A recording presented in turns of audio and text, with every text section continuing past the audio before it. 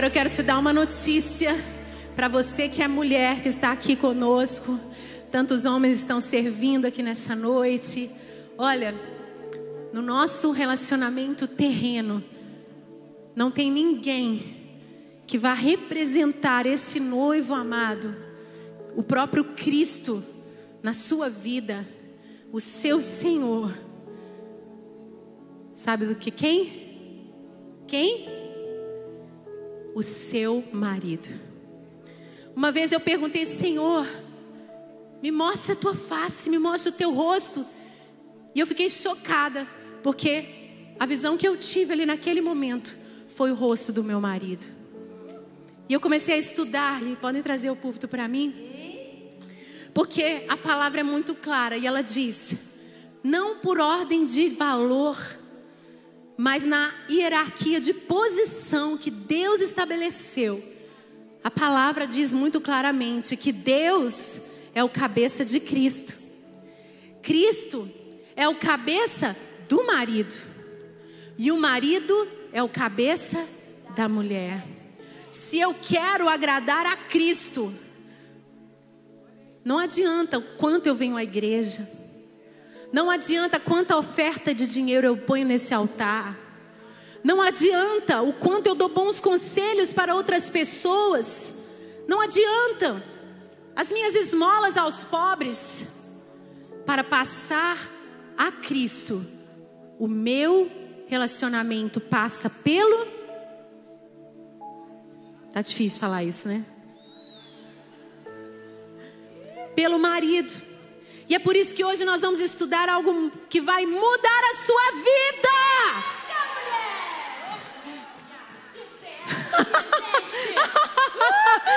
Tá feliz, fala obrigado, Deus. Te amo. Eu fui autorizada pela pastora Mariana, então dá aí um high five na tua amiga do lado e fala: É, amiga. Jesus te ama e teu marido também.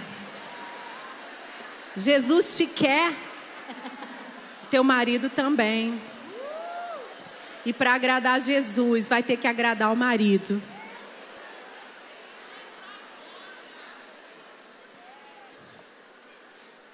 E eu queria começar então mostrando uma foto da minha família, do meu Senhor, porque Sara chamava Abraão de Senhor. Estou quase abrindo a irmandade de Sara na nossa geração, né? Olha ali o meu senhor. Do lado esquerdo está o Isaac, do lado direito Benjamim, e ali está a face do meu Senhor. Se eu quiser agradar Jesus e desagradar o marido, gente, está tudo errado. É Jezabel, né? Então, agradar o marido é agradar o Senhor. Vou quebrar tudo hoje, tá? Se você está aqui, seu marido não queria que você viesse, pode voltar para casa feliz, que Jesus está feliz se você voltar. Tá entendendo a dimensão da necessidade da gente clarear a nossa mente? Agradar o meu Senhor é agradar o meu marido, ele, para mim, é o representante de Cristo. A Bíblia diz que esse mistério é tão grande é tão grande esse mistério que diz assim: que Cristo amou a igreja, a si mesmo se entregou por ela, para purificá-la, para aperfeiçoá-la. É assim, para apresentá-la ao Pai sem mancha, sem mácula, sem ruga. Não é assim com Jesus a gente não vai ficando cada vez melhor? Assim, ele diz que deve ser com o marido com a sua esposa. Por isso, hoje o culto é de mulheres, a gente é que vai apanhar um pouquinho da palavra. Mas tem a parte dos homens também, né? Eu aprendi, se você pode ser um pastor muito renomado, pode ser também um profissional muito bem sucedido. Me mostra a tua mulher. Cadê aquela menininha linda que o Senhor te entregou para você cuidar e para você aperfeiçoar? Tá mais bonita do que quando você a recebeu? Como é que está essa mulher? Está bem cuidada? Como estão os sonhos dela? Ela está aperfeiçoada? A alma dela que era tão quebradinha, talvez por orfandade, paternidade ferida. Você curou essa menina? Como é que está essa mulher da meia-idade? Como é que estão as realizações dela? Então, gente, pode deixar que a palavra não é só para nós, não. É para os homens também. E com um peso muito grande.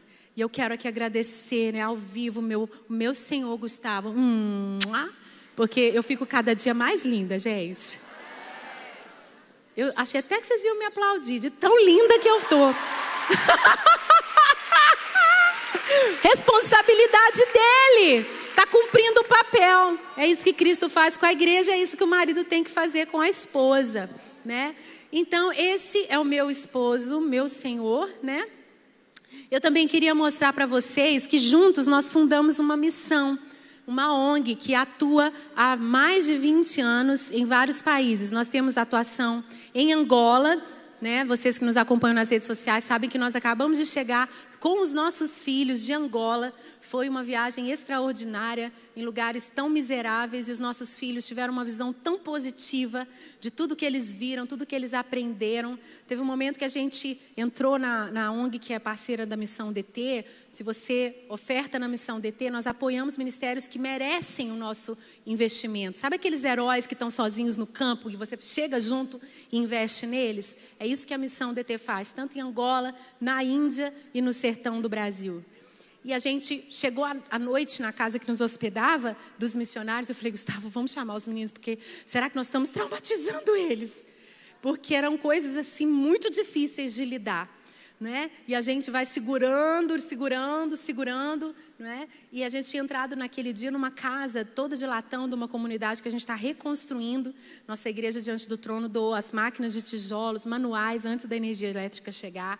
Hoje já são 3 mil tijolos feitos por dia, as casas estão sendo refeitas. Um projeto autossustentável que vai estar transformando muitas comunidades assim na África. E os meninos entraram numa daquelas, daqueles casebres, deitaram no chão onde eles dormem, e aquilo assim, falei, vamos conversar para ver se está tudo bem, né? E aí a gente perguntou, então, Isaac, Benjamin, como vocês se sentiram na viagem? E aí eles falaram, falaram, falaram. Agora resumo em três palavras o dia de hoje. O que, que você viu, Benjamin? O de 13 anos, ele falou assim: Eu vi felicidade, eu vi gratidão e eu vi criatividade. Mamãe, lá onde a gente mora, as crianças querem sempre mais, eles não têm nada, eles são felizes. E qualquer coisinha que a gente dá para eles, mãe, uma balinha, eles são tão agradecidos. Mamãe, nós brincamos tanto de pedrinha, de pauzinho, de folhinha, de pneu, de barro, de terra. Mamãe, eles são muito criativos. Enfim, foi uma viagem extraordinária e você pode ir conosco também nas viagens de curto prazo, ok? Visite o nosso site missãodt.org para saber mais. Eu também queria mostrar para vocês a divulgação do nosso congresso Mulheres Diante do Trono, que está chegando e a pastora Mariana vai estar em BH. Quem sabe a gente vai ter uma caravana aqui da Lagoinha Niterói. Então corram, porque são poucas as vagas restantes lá na Lagoinha Matriz, de 1 a 3 de setembro. E a pastora Renata Valadão, nossa mãe estoura, pela primeira vez também vai estar dando um testemunho da sua pérola. São nove pérolas que nós vamos estar estudando, que a psicologia já retrata, que vamos viver como mulheres ao longo da nossa vida. Ouve só, cada uma dessas mulheres ostras vai estar falando sobre uma pérola ou cantando, as psicólogas também vão completar com as suas dicas. Nós temos a pérola dos traumas inesperados, a pérola das mudanças planejadas, a pérola da vida adulta como mulher solteira, a pérola do início do casamento, a pérola da chegada dos filhos, a pérola da entrada dos filhos na adolescência, a pérola da saída dos filhos de casa, a pérola da meia-idade, a pérola da morte dos pais e a pérola da aceitação da própria velhice. Não sei qual pérola você já produziu, se o seu colar está ficando pronto, ou se você ficou presa sem conseguir processar alguma dor, porque você precisa entender que a pérola é a lágrima da ostra, e a pérola é a cura, é uma ferida cicatrizada. E nós queremos que o Espírito Santo e as outras mulheres com suas histórias vão te ajudar a sair dessa etapa que você travou e você vai ser como a noiva de Cristo, adornada com colar completo. Amém?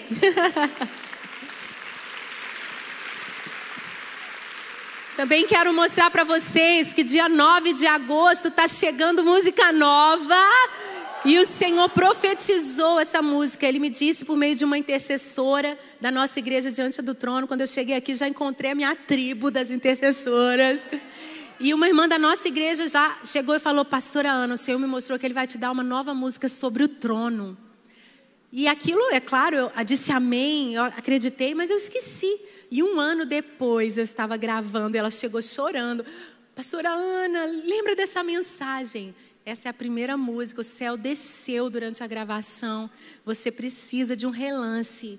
Você precisa ver um pouquinho da glória que cerca o trono de Deus. Então faça o pré-save dia 9 de agosto, você vai ser notificada, você já salva essa música no seu Spotify. Se você fizer o pré-save, vai direto para sua playlist de favoritos e realmente é algo que o Senhor já anunciava que ia fazer.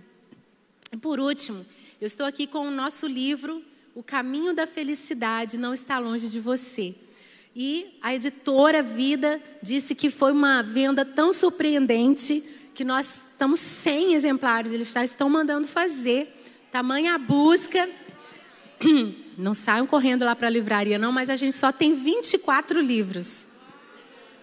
E você também já pode fazer o seu pedido na Amazon para ter o seu e-book, porque eu acho que depois da ministração de hoje você vai querer ter esse manual porque você quer agradar ao Senhor e você quer então aprender a ser feliz com aquele que representa Jesus na sua vida, que é o seu marido. Amém? Deus abençoe então. Adquira o livro e você vai ser muito abençoada. Pastora Mariana está lembrando que a gente tem esses 24 livrinhos. Ah, é? Vocês já tinham comprado um pouquinho? Igreja, ela tá à frente, já tem um estoque maior do que os 24 que eu trouxe. Palmas, gente, para essa Mariana Valadão, essa mulher ardente do seu tempo. que bom ouvir isso, obrigada. então vamos lá, preparadas? Respira bem fundo aí no seu lugar, vai lá. Respira, ah meu Deus, obrigado, porque Pois é, respira fundo porque vai precisar. Gente, salão. Mariana contou aqui que foi fazer a unha hoje, a manicure ela convidou, orou por ela, já está aqui na igreja. Eu estava no salão, fazendo a manutenção do meu cabelo e ouvindo a conversa de salão. Quem aqui sabe do que, que eu estou falando? E uma mulher falando com a outra, contando a história, como que ela já estava preparada para divorciar. Já tinha oito meses que ela tinha saído da casa dela, já tinha imigrado para os Estados Unidos, o marido aqui no Brasil, e ela começou a falar bastante mal dele. E começou a falar, falar, falar, falar, falar, falar, falar. E as outras, eu sei bem o que é isso. A outra já era divorciada, já estava, acho que no terceiro relacionamento, e eu já conheço a história dela, a história muito sofrida, todas crentes, tá? A outra lá do outro lado, fazendo a unha e concordando também, e ó, metendo a ripa no marido. Nisso eu falei, Senhor amado, o que, que eu faço nesse lugar? Meu discurso vai totalmente contra tudo que elas estão falando e hoje em dia a gente tem que ser quase que politicamente correto. Às vezes não dá, tem que tomar muito cuidado. Eu falei, Senhor, me dá estratégia, me dá sabedoria. Comecei a orar ali no meu lugar quietinha. Falei assim, gente, sabe que eu escrevi um livro com meu marido? Eu fiz um, uma pesquisa, um estudo tão revolucionário, elas sabem que eu sou pastora, a gente fez até um retiro de mulheres lá na nossa igreja, e foi um estudo, um ensino mais transformador que eu já vi na minha vida desde que eu conheci a Debbie Tyrus há 12 anos atrás. Foi aquele marco que eu trouxe para o Brasil e agora esse estudo que eu também estou trazendo para o Brasil e ampliei. Vocês querem conhecer elas? Claro, Ana, claro, claro. Comecei a contar. Falei assim: olha, em vez de eu falar do meu livro, eu vou falar do seu marido. Só pelo que você me contou aí, eu vou descrever seu marido para você. Ah, pode falar mesmo. Aí eu comecei a contar, comecei a contar, olha, pelo que você contou, seu marido é assim, assim, assim, seu marido é assim, assim, assim, você é assim, assim, assim, um pouquinho do que você me contou, vou contar a sua história de casamento, contei tudo para ela, né, o Espírito Santo e o conhecimento, aí ela, gente, ela começou a murchar, Ela começou a murchar, começou a murchar. As outras, uau, nossa, o meu também era assim. E não sei o que, não sei o que, não sei o que e tal. No final, elas queriam um livro, nós oramos. Três semanas depois, eu volto no salão para outra manutenção. Não é que ela estava lá? E ela vira para mim e fala o que muitas de vocês vão me dizer. Recebe aí. Vão dizer para a pastora Mariana, para a pastora do seu campo. Oi, Ana. Naquele dia, eu voltei para casa. Eu coloquei a minha aliança de volta no dedo. Pode aplaudir o Senhor.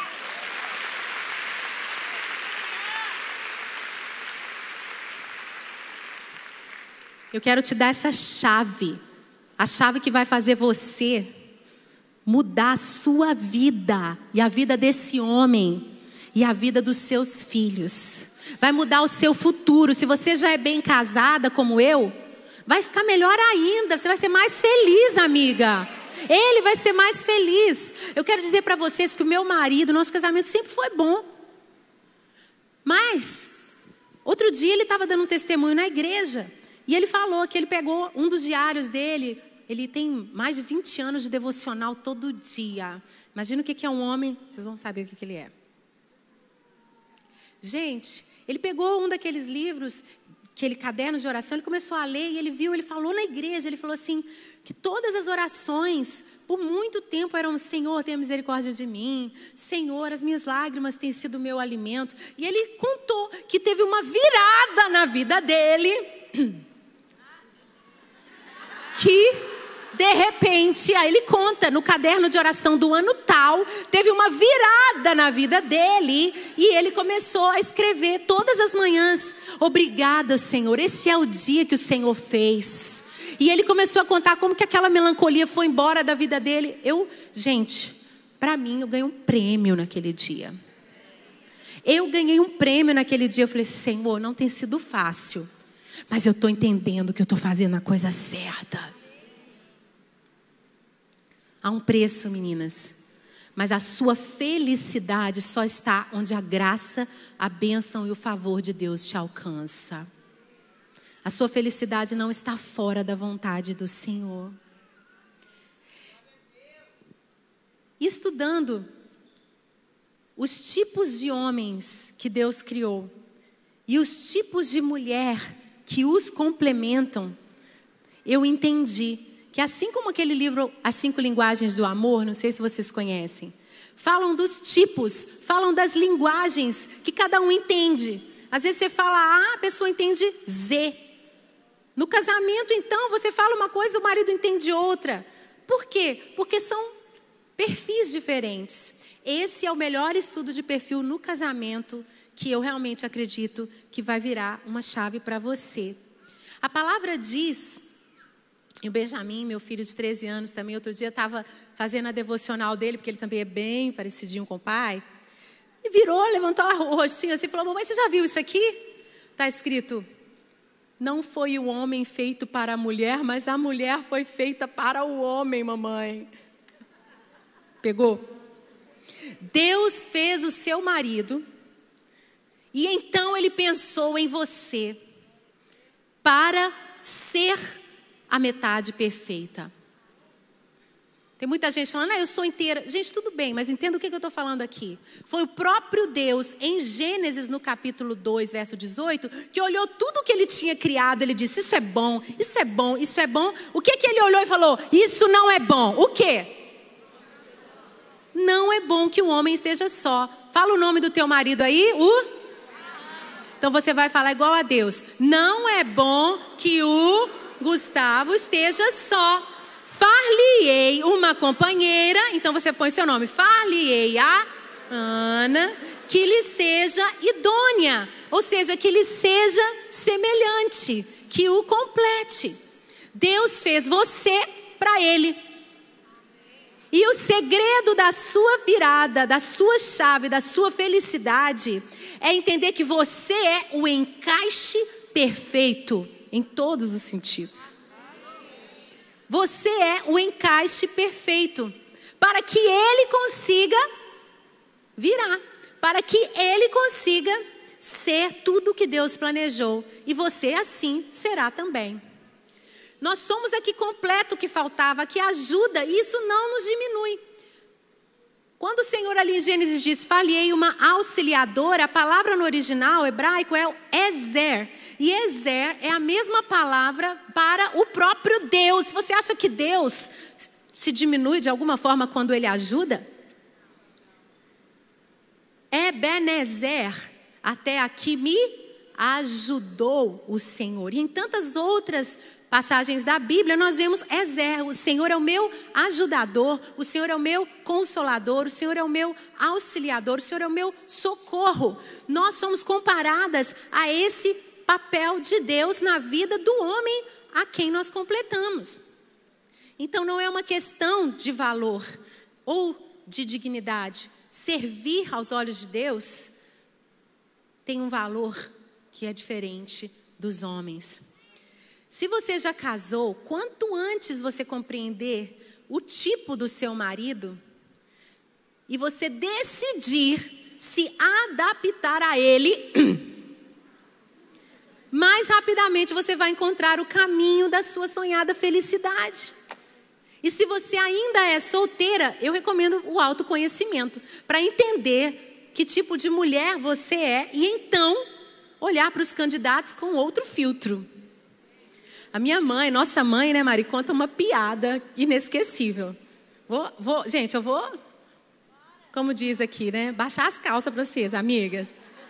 Porque mamãe estava no banheiro lá. A gente ama tomar banho junto, conversar junto, fazendo hidratação, cuidando da pele, não sei conversando. E a mamãe, ó, oh, vou te contar essa piada. Eu ainda era solteira. A menina chegou para a mãe: Mãe, mas ele é maravilhoso. Mãe, ele é perfeito. Mãe, meu príncipe, não sei o quê. Aí a mãe falou: Abre o olho. Fala para a irmã solteira aí do teu lado. Tem uma solteira perto de você? Ó, abre o olho. Abre o olho. Aí a menina casou, voltou para a mãe um dia. Mãe, meu marido, não tem que pica, te cutucure. Fala para tua amiga casada é do teu lado. Fecha o olho. Fecha o olho. então a solteira abre o olho. Se conhecer é escolher melhor ou deixar-se ser escolhida fazendo a pergunta: será que esse tipo de homem é o que eu quero completar? Serei a melhor companheira para ele? Que tipo de mulher eu sou para que se torne mais fácil me colocar debaixo da liderança dele? Porque você vai escolher o seu cabeça, você vai escolher o seu senhor, você vai escolher o seu líder. Se for uma liderança medíocre, menina, você vai ter que abaixar muito. Mas se você escolher bem, ver potencial, você vai levantar esse homem, edificar esse homem de tal forma que a liderança dele vai fazer você voar, ainda vai sobrar espaço, vai ter muito teto, porque você vai saber ser a sábia que edifica o seu lar, que edifica o seu marido. Então, tá entendendo? Estou falando para mulheres bíblicas aqui nessa noite, amém? É contramão do mundo. Mas olha, esse manual aqui tem milhares de anos e está comprovado, viu?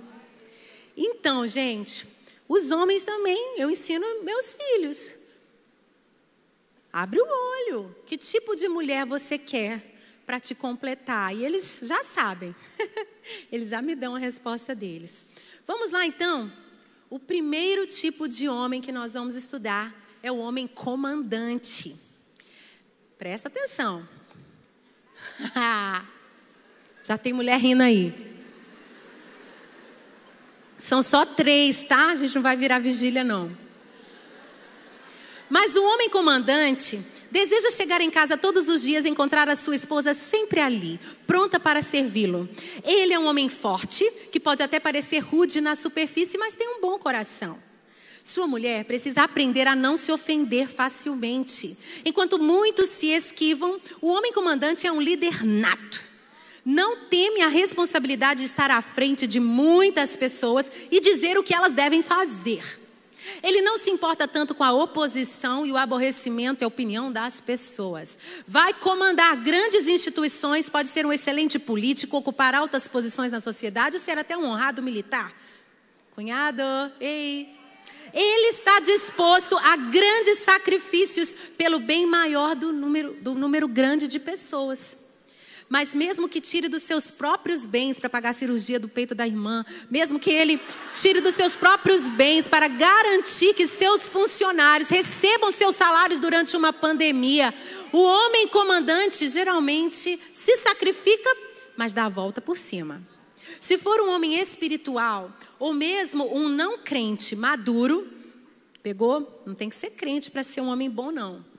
Mesmo sendo um homem maduro, não crente, ele vai servir a sua comunidade com altruísmo e vai ajudar muitas pessoas. Mas, se for carnal e egoísta, seus subordinados no trabalho, e principalmente a sua esposa e os seus filhos, vão sofrer com a sua rispidez, que pode chegar à violência. E aqui eu abro parênteses que nenhuma mulher deve apanhar, gente. Procura ajuda. Mas, não fica com raiva de mim do que eu vou falar aqui, não. Geralmente ele não é um homem mau, nem cruel. Geralmente, tá? Na maioria dos casos, ele apenas tem a expectativa de ser honrado e obedecido. E reage mal quando não recebe esse respeito. Lá onde eu moro, nos Estados Unidos, o que tem de caso de mulher provocando o marido para ele ficar tão irado, até dar um tapa nela, só para ela deportá-lo e ganhar um green card, gente.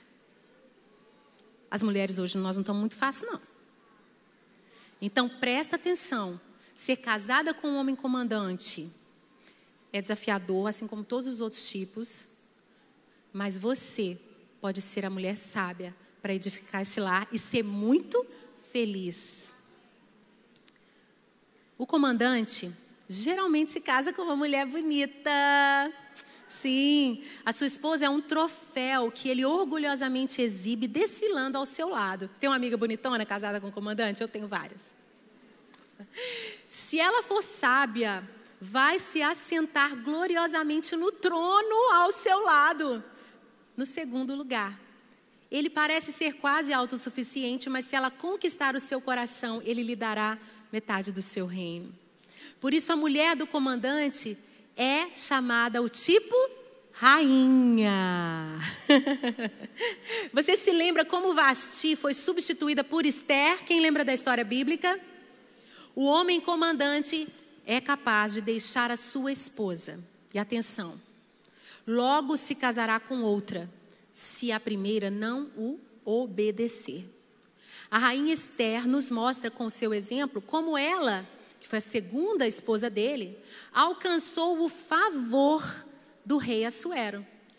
Lembra disso? Ela aprendeu a fazer um apelo na hora certa. A mulher do homem comandante precisa saber quando e como falar. Quando tiver um pedido ou tratar de um assunto delicado com seu marido, ela sabe fazer um pedido, um apelo, sem desafiar a sua autoridade.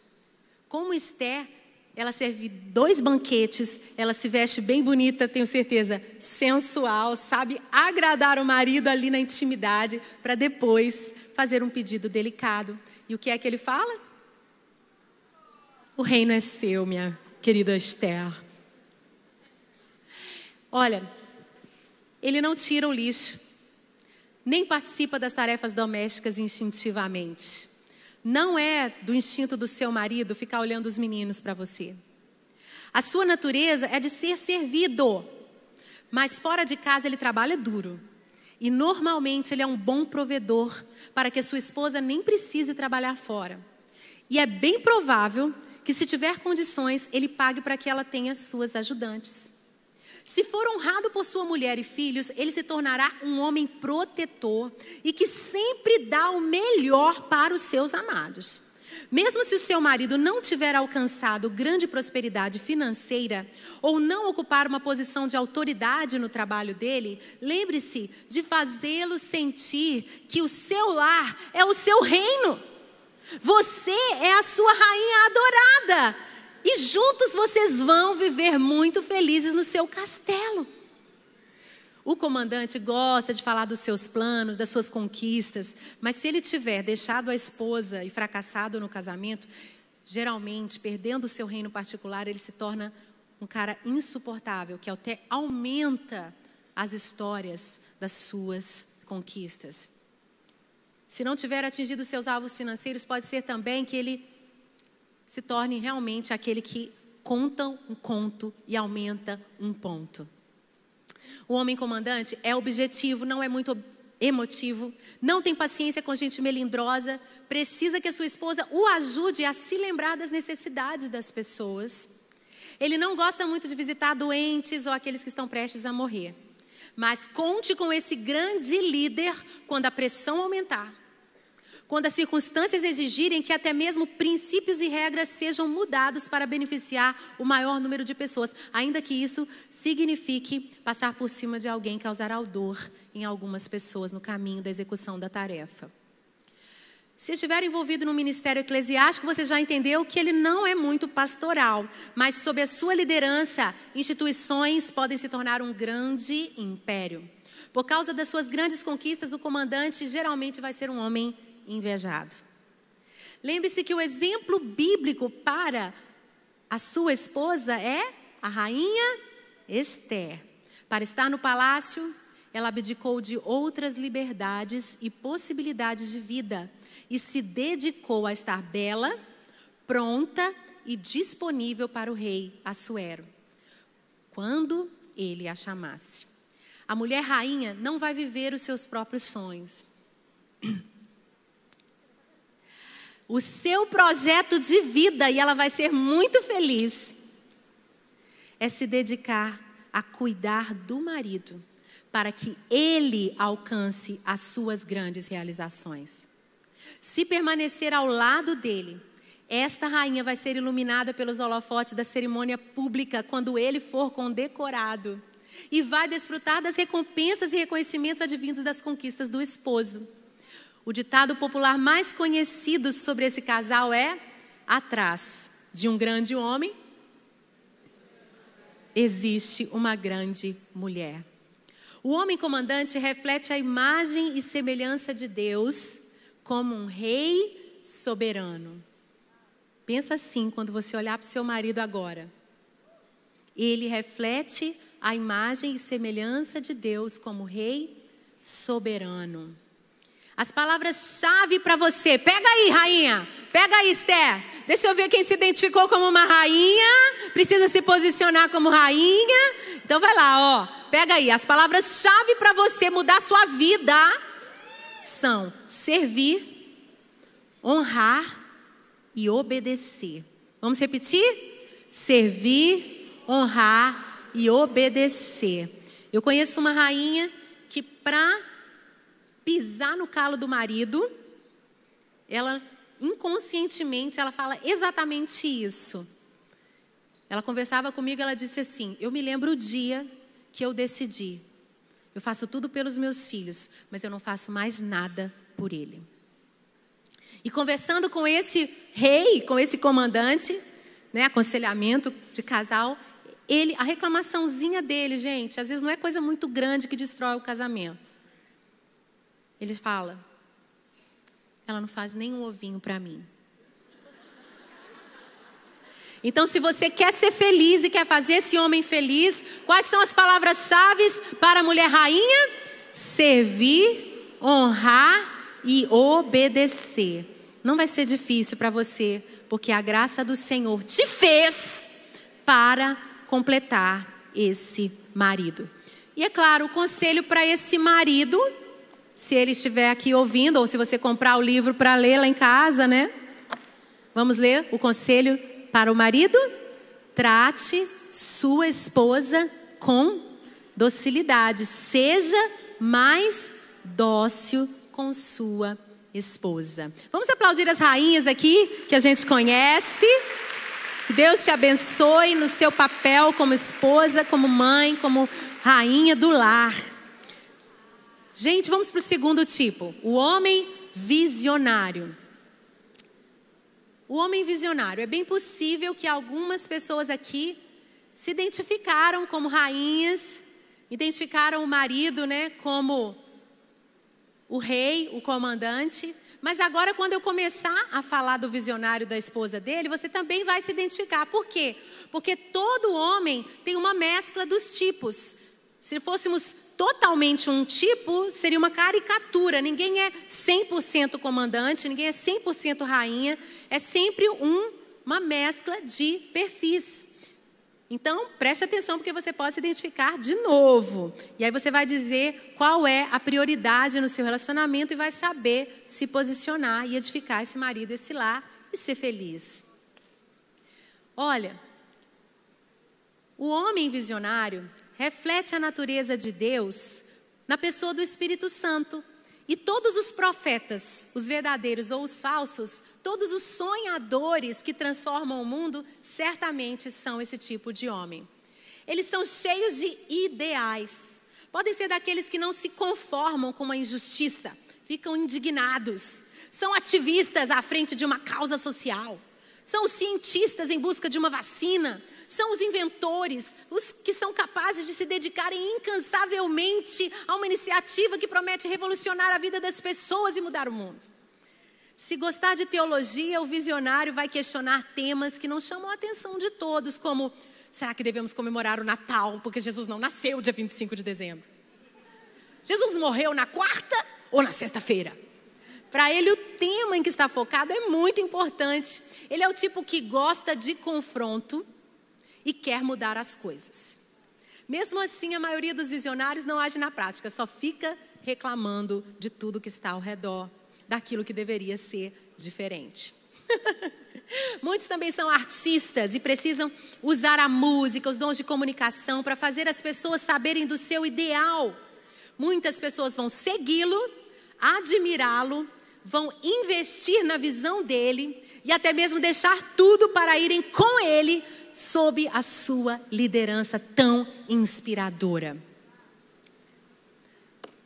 Estão identificando alguém aí?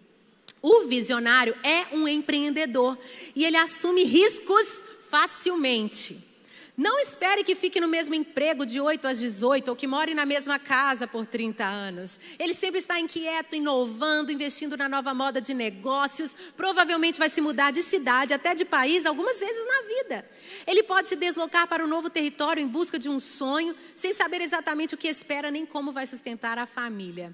Geralmente, a esposa de um homem visionário vai ser ou muito rica ou muito pobre. Porque as suas iniciativas podem dar muito certo ou muito errado. Mas mesmo se for como o Thomas Edison, que tentou mil vezes até finalmente inventar a lâmpada elétrica, lembre-se que esse homem, independente do seu sucesso financeiro, tem grandeza dentro de si. Você é casada com um grande homem. Se esta mulher permanecer ao lado dele enquanto ele tenta, se ela estiver lá quando ele realmente conseguir, ela vai ser a primeira pessoa a acender a lâmpada elétrica que vai revolucionar o mundo na cerimônia pública de honra ao grande visionário.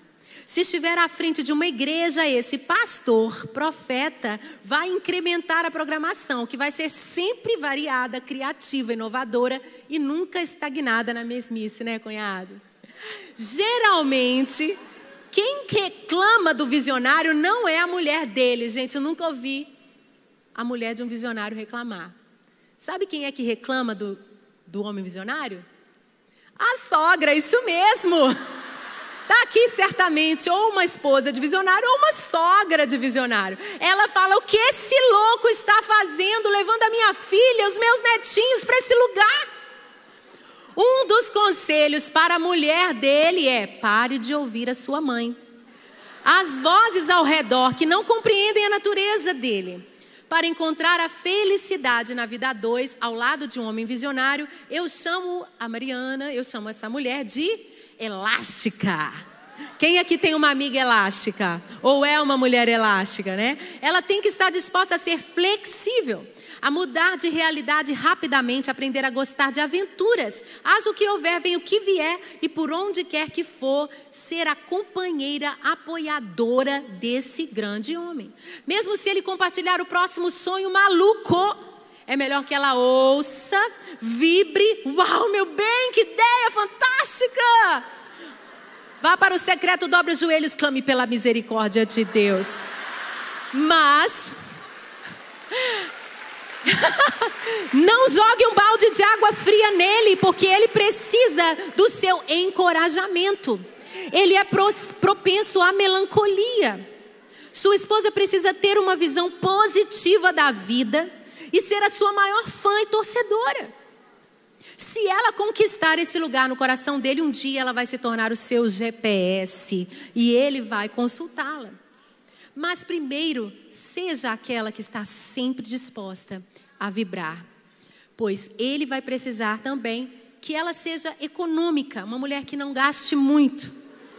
É bem provável que as suas economias, toda a poupança, todo o dinheiro que ela guardar, seja utilizado para a grande conquista e realização dele.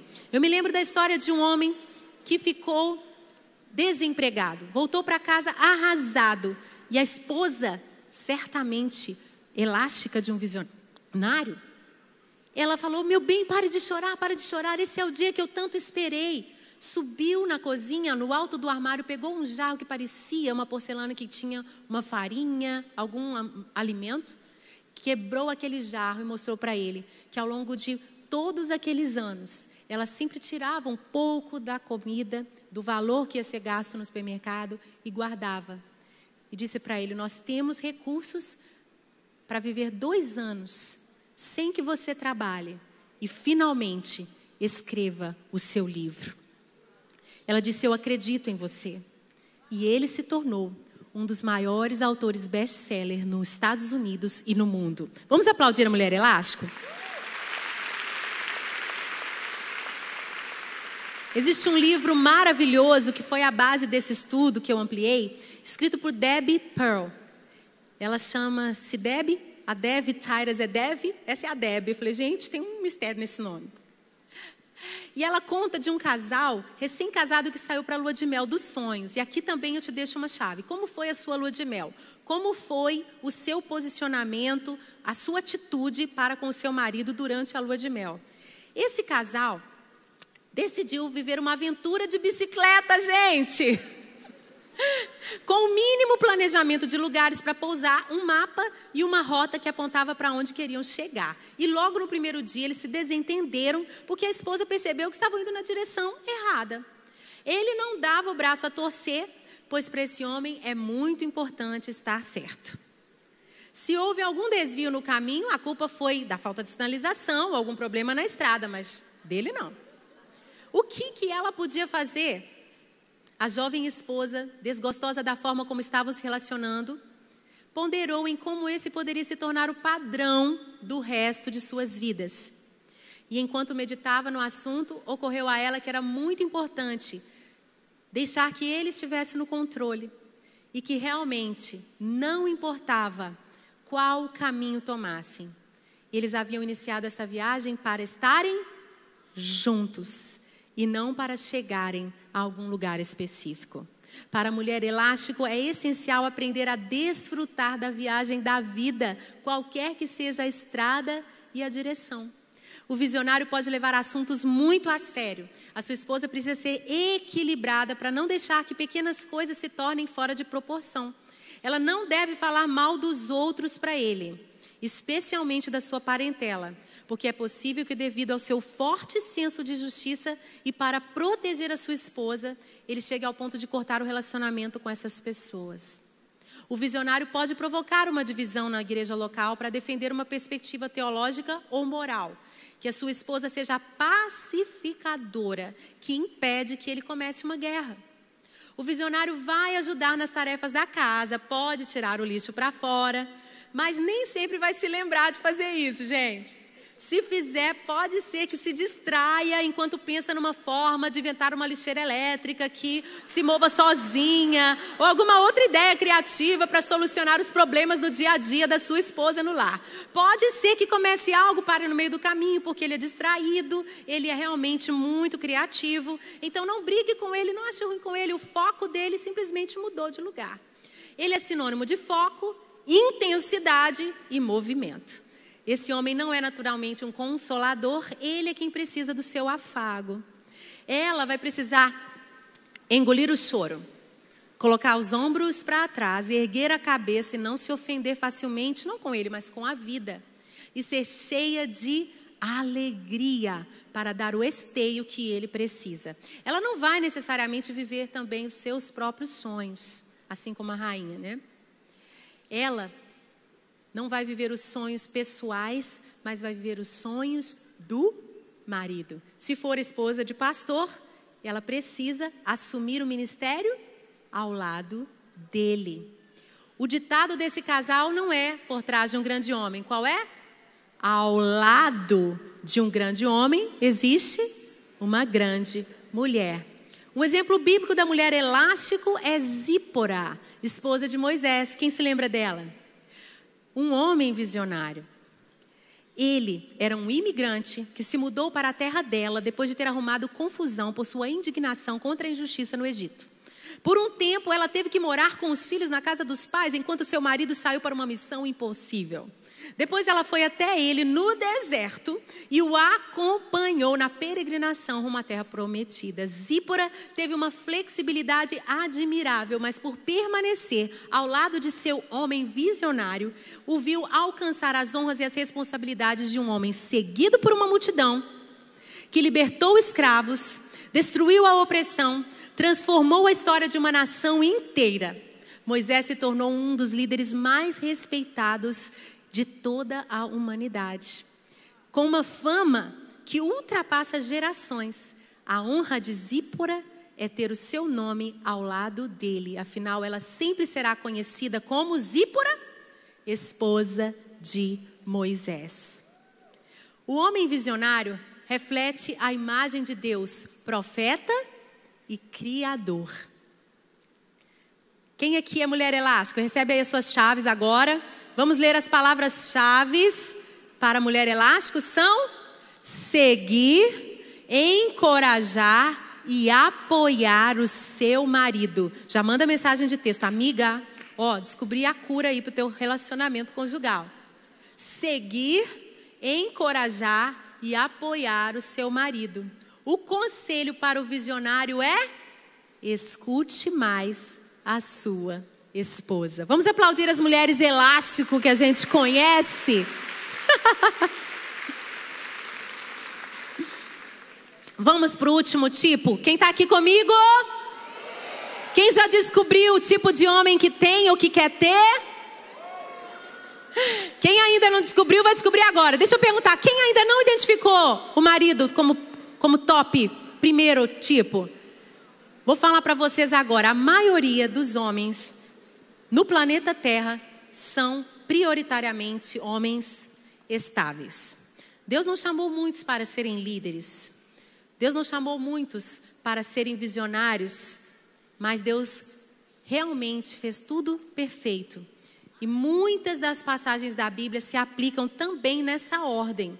Às vezes você lê um texto que você lê lá, por exemplo, né? A mulher deve obedecer o seu marido e você é casada com um homem que não tem essa linguagem, que não entende isso como uma forma de ser amado. É claro que nenhum homem quer que a sua autoridade seja desafiada, mas eu quero que você entenda que até nas ordens bíblicas para a mulher você vai poder aplicar de acordo com o perfil do seu marido e você vai perceber a virada de chave no seu casamento.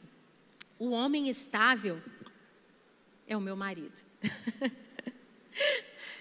Se o visionário é aquele que começa as brigas, o comandante é o que vai liderar as tropas na guerra, quem são os soldados? A maioria dos homens tem o perfil estável, e o senhor estável é quem compõe o numeroso exército que se alista, que vai à luta e sacrifica sua própria vida se for preciso. Ele é fiel, leal, trabalha honestamente para sustentar a sua família, geralmente na mesma profissão por décadas. Por ser previsível e confiável, todos podem contar com esse homem, que é apreciado na comunidade como alguém que está sempre pronto para servir. que vocês estão rindo, gente? Está identificando aí? De todos os tipos, o estável é o que mais se parece com Jesus. Pode aplaudir, eles são lindos.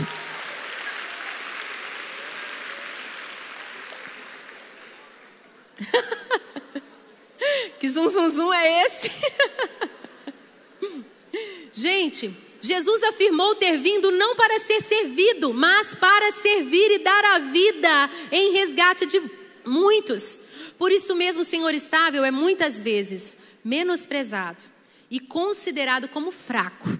Mas a sua força está no seu caráter íntegro e honesto, totalmente confiável. Ele é um homem manso e humilde de coração. Não gosta de confrontos, não vai dividir a igreja, releva a hipocrisia das pessoas para manter a paz. A sua esposa precisa perceber o valor desse homem bom. E como ele não se autopromove, ela deve ser o marketing que ele precisa. Contando para todos o quão maravilhoso ele é, como ele executa o seu trabalho com excelência. Se tiver uma esposa que o admire, esse homem estável vai alcançar o respeito de toda a comunidade. A mulher do homem estável não precisa lutar, não precisa aprender a fazer um apelo. Gente, ele está sempre pronto para ouvi-la, atender a todas as suas vontades. Assim como ele não muda de emprego e dorme na mesma cama por 30, 40 anos, meninas, esse é o tipo de homem que não vai trocar de esposa. Ele segue o conselho bíblico e se alegra com a mulher da sua mocidade. Geralmente, deixa eu tirar a sandália que vou tacar numa agora, hein? Quem se divorcia não é o homem estável a mulher é quem o abandona.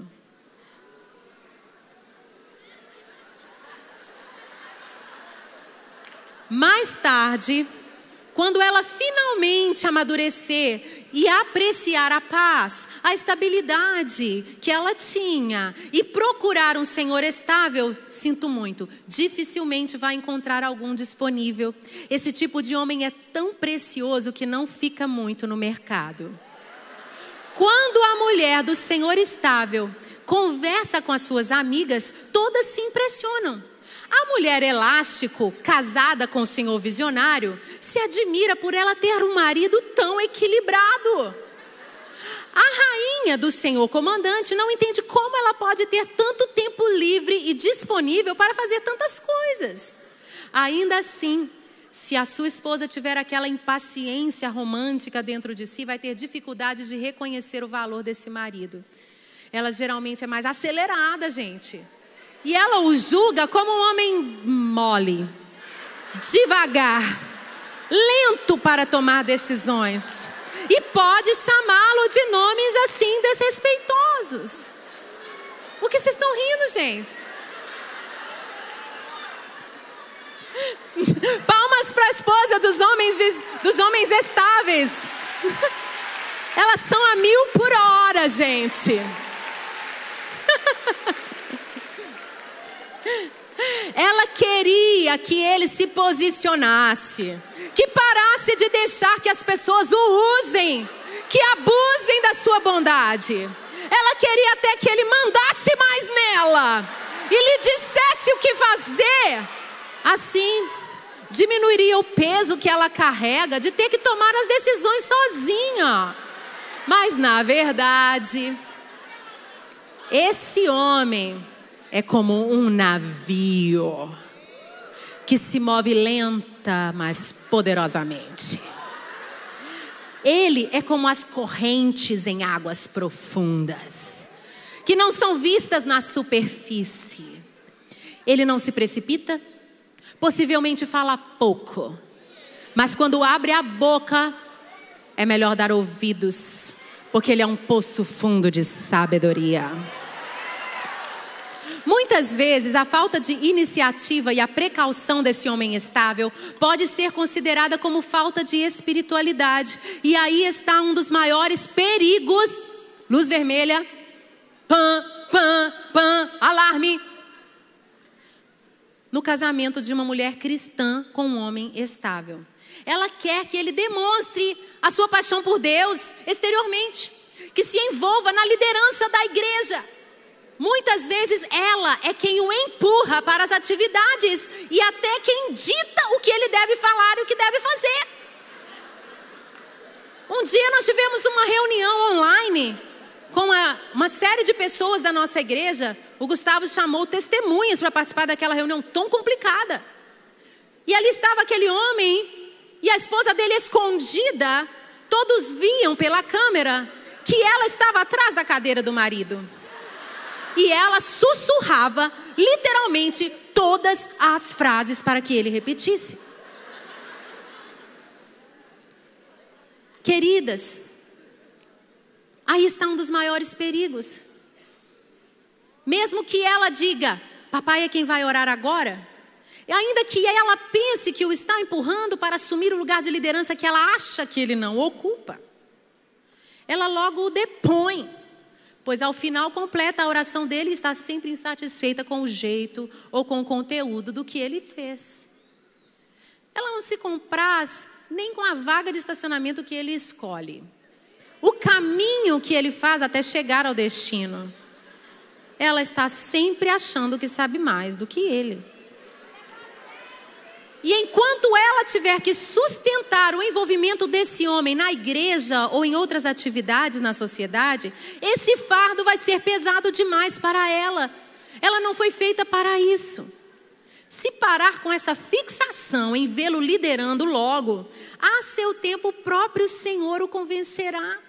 Aquele que chama é quem sustenta. Você quer chamar e sustentar o seu marido?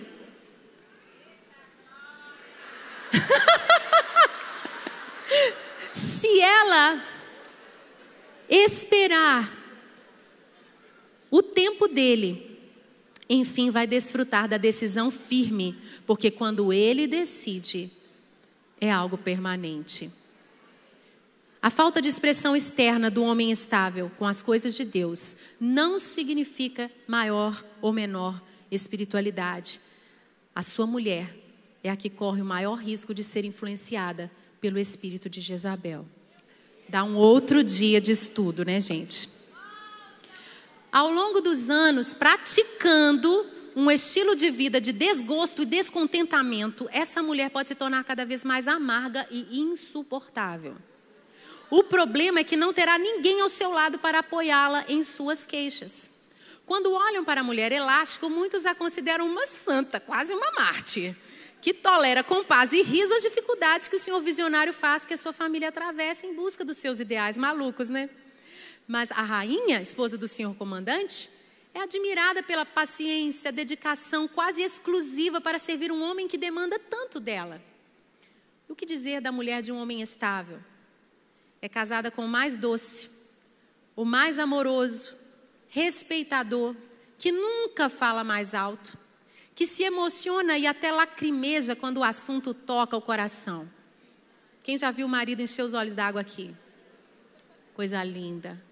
Ele provê, cuida, protege, não demanda, serve e ainda assim ela nunca está satisfeita.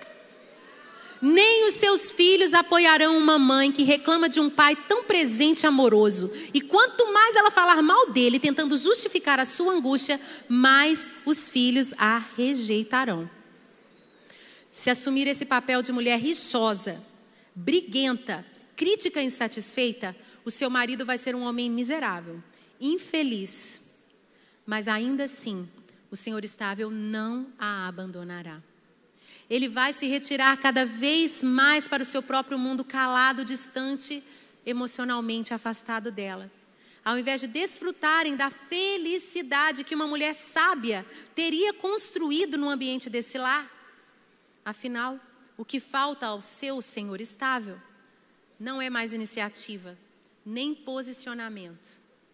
O que falta a muitos homens estáveis é uma mulher sábia, que o edifique, que acredite, que faça com que ele acredite em si mesmo e alcance o respeito de todos ao redor. Enfim, ele se tornará o respeitado marido da mulher virtuosa de Provérbios 31. Ali está o seu capítulo, ali está a sua descrição, mulher.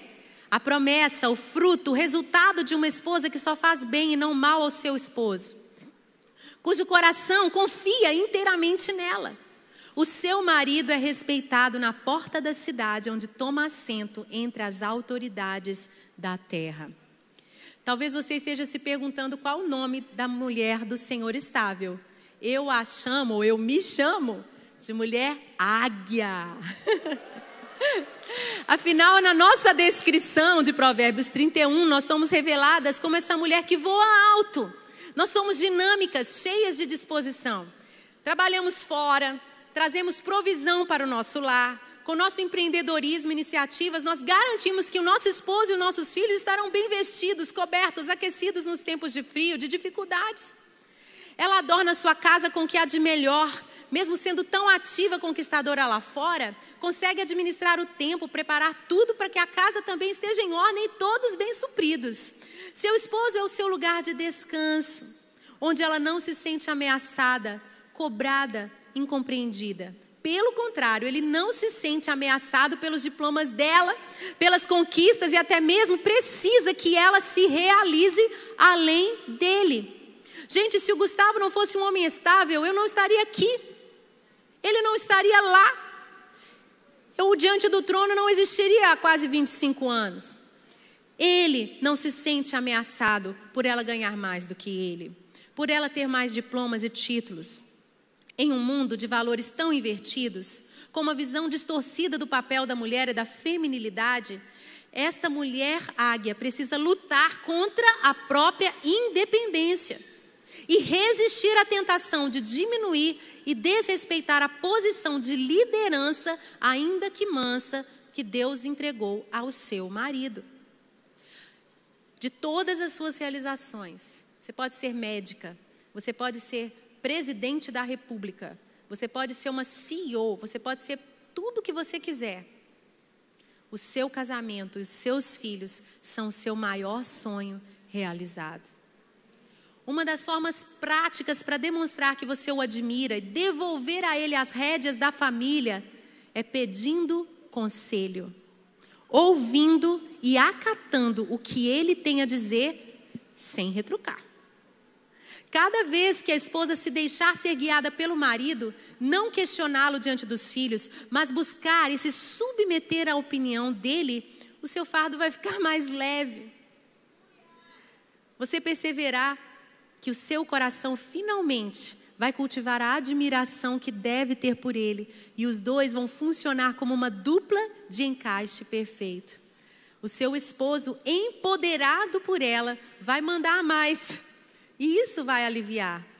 Ainda que na maioria das vezes ele decida fazer do jeito dela, sem que isso o ofenda. Eu me lembro quando, na nossa lua de mel, por isso eu disse: preste atenção, mesmo nos seus primeiros dias. Nós mudamos de hotel duas vezes porque eu não gostei da decoração do quarto. Que vergonha. Uma vez ele me deu uma joia. Eu achei tão feia, reformei o anel. Que vergonha! Hoje, quando eu olho para trás, eu percebo quantas coisas assim desonraram o meu esposo pela minha crítica, pela minha falta de admiração. E eu me lembro quando entrei nesse caminho da submissão, nesse caminho da minha rendição à liderança, devolvendo a liderança ao Gustavo, e a gente, é claro, né, repetindo esses padrões, sempre tinha desconforto nas viagens, nas escolhas que ele fazia. E o Senhor me disse: nessas férias, você não vai nem querer saber para onde vocês vão. Deixa ele escolher tudo e você vai escolher gostar de tudo. Ele escolhe o tudo e você escolhe gostar de tudo. E ele se admirou, mas eu já estava no processo, né? Gente, foram as melhores férias da nossa vida. Eu escolhi gostar e gostei tanto que a gente voltou para o mesmo destino. E dessa segunda vez, uma prima com a sua família, com seus filhos da mesma idade dos meus, foi também. Ou seja, já era mais um ano de processo de caminhada de mulher virtuosa. Ela, no final da viagem, falou para mim: Ciana, eu estou tão admirada com você, como você é submissa. Eu falei: Eu? Ela falou assim. Eu falei: Mas eu não tive nem ocasião para me submeter. Ela falou que não teve o tempo todo. O Gustavo mandava em você. Eu quero te dizer que a melhor coisa que existe é essa leveza da submissão. Você entra num processo de se render, de se satisfazer, de ser feliz. O seu marido se realiza empoderado por você e vocês dois vão fazer uma dança muito bonita juntos. A vida fica muito mais gostosa. Sim, ele tira o lixo, gente. Ele lava a louça, ele cuida das crianças. Ele não se importa. Ele é cheio de compaixão para os feridos, os necessitados, visita os doentes, ouve com paciência, é um ótimo conselheiro. De todos os tipos, é o que mais se assemelha ao bom pastor que dá a vida pelas ovelhas. Ele é como Jesus que faz o trabalho que ninguém queria fazer, lavou os pés dos seus discípulos. Ainda que não veja a vida do topo de uma montanha como comandante, nem com o foco afunilado intenso como visionário, o Senhor estável vive com o pé no chão. E é a ponte perfeita entre os outros dois tipos que tem nele um melhor amigo. O homem estável reflete a imagem de Deus. Vamos dizer, ele é o mesmo ontem, hoje e para sempre. As palavras-chave, deixa eu ver quantas águias temos aqui. Quantas estão aqui liberadas para estudar, para fazer sua pós-graduação, seu doutorado, pós-doutorado, para empreender, criar sua empresa e ganhar muito dinheiro, trazer dinheiro para casa, sem ameaçar o marido? Olha, você pode ser tudo o que você quiser, viu? sem medo de estar tá desonrando a Deus. Não deixa a perspectiva de um outro casal com outro perfil te oprimir, não. Você pode ser tudo o que você tem que ser, até mesmo uma apóstola na igreja do Senhor. Vamos aplaudir as águias aqui entre nós? Pega as suas chaves aí. Quais são as palavras-chave? As palavras-chave para a mulher águia são apreciar, admirar, honrar, respeitar e ouvir o seu marido. E o conselho para o homem estável? O que, que você vai chegar em casa e falar? Manda mais em mim, baby. Como é que você quer, né? Mande mais em sua esposa. Isso vai fazer com que ela seja muito feliz. Muito feliz. Gente, ela manda tanto fora de casa, ela tem que chegar em casa e ser mandada. Alivia o fardo, gente. Desfruta. Ser liderada é bom demais. Ainda mais por um homem bom como esse. Olha, eu quero dar para vocês a fórmula, a ruína e a cura. Vamos lá? Nós temos a tela da ruína. O resumo da ruína da mulher tola. Vamos ler juntas?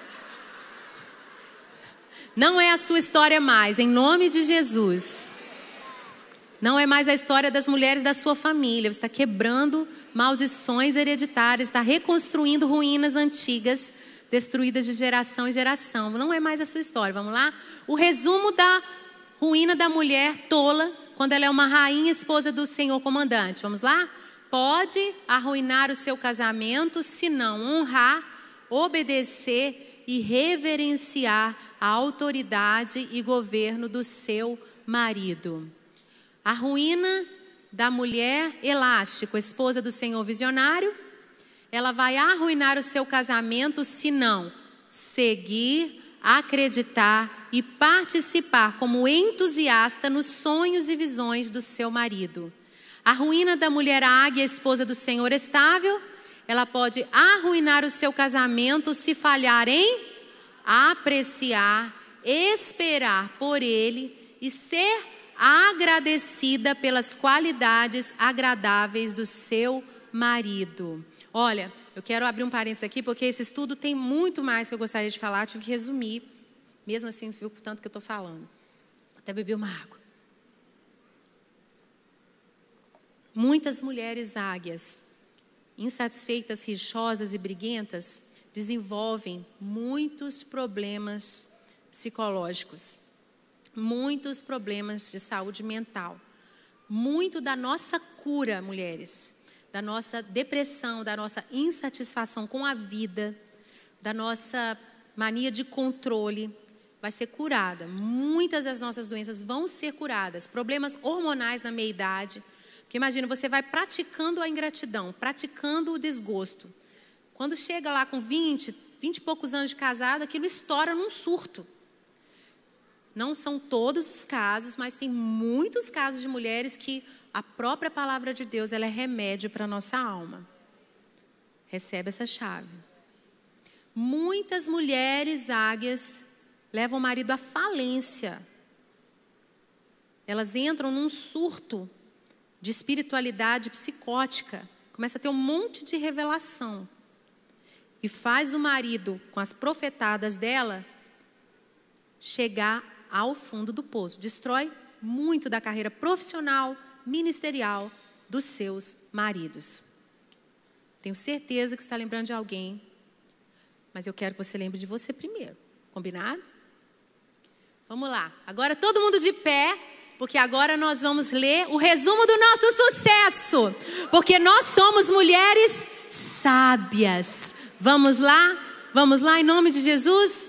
A mulher rainha do homem comandante pode curar o seu casamento, leia comigo, se tornando sua rainha adorada, honrando e obedecendo todas as suas palavras. Ela vai agir, se vestir, falar de forma que o agrade e honre por onde ela for. Olha o resumo de sucesso das mulheres elástico do homem visionário. Ela vai curar o seu casamento fazendo o quê? Renunciando seus próprios sonhos e aspirações e abraçando seu papel como ajudadora do seu esposo, acreditando e estando disposta a segui-lo com participação alegre pelo caminho que ele tiver escolhido. E agora, o resumo da mulher águia do homem estável ela vai curar o seu casamento alegremente percebendo que amigo, amante e companheiro ela recebeu, verbalizando e demonstrando sua gratidão ativamente. Quando ela parar de tentar mudá-lo, ele vai crescer. Ela poderá então intencionalmente assumir tarefas que preencham o seu tempo e dar alegria ao seu esposo ao ver a produtividade dela. Eu quero terminar dizendo que a combinação de tipos é maravilhosa e você precisa tirar um tempo para conversar lá no seu GC, conversar no seu ministério, a equipe que você participa, contar para as pessoas do seu trabalho sobre essa descoberta dos perfis tão maravilhosa. Se você quiser saber que tipo de homem é o pastor Felipe, quem já sabe? Um comandante visionário. E a sua pastorinha Mariana é uma rainha elástica. Se você quiser saber quem é a pastora Renata Valadão, a mãe da Maria da Ana, ela é uma rainha elástica. Meu pai, quando se casou, ele disse: Eu não quero. Não, ela é uma rainha águia. Uma rainha águia. Porque quando ele se casou, ele falou: Eu não quero uma pastora. Eu quero uma mulher para cuidar de mim e dos meus filhos. Então ela é uma rainha águia. E a pastora Ana aqui na frente, quem eu sou? Uma águia elástica casada com o Gustavo, que é um senhor estável, visionário. Senão ele jamais teria imigrado do Brasil, né, gente? Queridas, conversem sobre isso, explorem mais isso. O próprio Espírito Santo, a própria unção do Senhor te ensinará todas as coisas. E eu quero que você repita uma oração comigo. Feche os seus olhos. Respira fundo aí no seu lugar.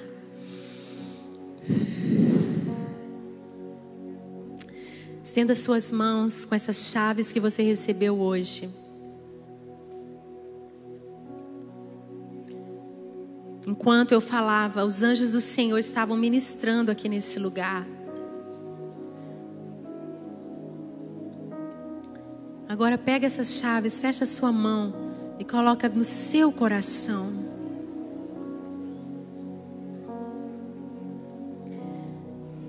E diga assim: Senhor Deus, me perdoe pela minha falta de sabedoria o que eu errei, o que eu desfiz. Me ajude a reconstruir. Eu recebo o espírito de sabedoria e de entendimento no pleno conhecimento de Cristo Jesus.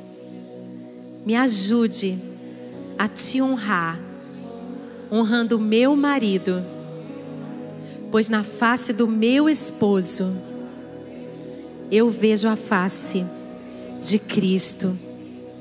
Que eu seja tudo o que o Senhor me criou para ser, plena, realizada, feliz, o encaixe perfeito para o meu marido, para abençoar os meus filhos a minha descendência e ser sal da terra e luz do mundo nesta geração tão perdida.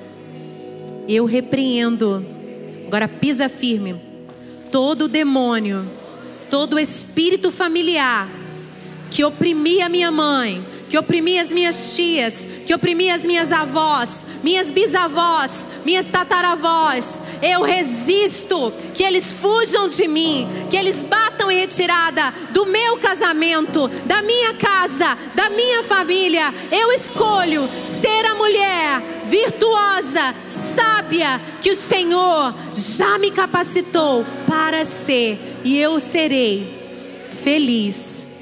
E os meus filhos e o meu esposo serão felizes pela graça de Deus. Aplauda o Senhor, queridas. Abençoo vocês. Vocês possam voltar para casa decididas e que eu possa ouvir ainda muitos testemunhos para a glória de Deus. Aquelas que destruíram um casamento pela sua tolice, o Senhor te dá uma segunda chance faça diferente. Se ainda é possível, se o seu senhor estável ainda está aí no mercado, quem sabe até vai reconciliar com ele. Mas se não, recomece. Entenda que a Bíblia também te autoriza a isso. Mas faça diferente para você não errar segunda, terceira e desacreditar do casamento. Amém?